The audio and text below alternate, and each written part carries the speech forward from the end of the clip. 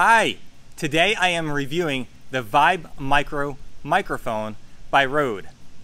Now I am currently using this microphone so that you can hear what it sounds like and it is currently plugged into my iPhone.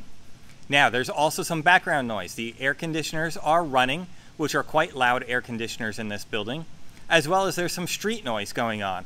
So you can hear how well I sound as well as how well it is or is not rejecting the background noise so that you can decide for yourself whether or not you like the sound quality of this microphone. Now, in the box comes the microphone, the shock mount, and this windscreen.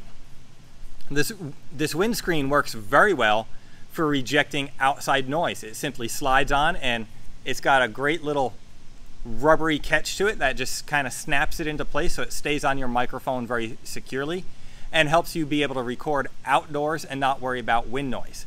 Now it says it comes with a two year warranty. There is no battery required. It simply just plugs into my iPhone and works great all by itself. It has a suspension mount.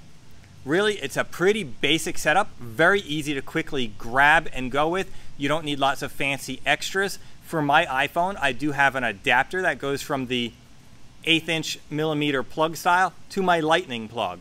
That's the only additional piece that I've needed to make it work with my iPhone. But with that adapter in place, it's simply the microphone. I leave that adapter with the microphone. I can just grab it and go anytime and use this Rode microphone.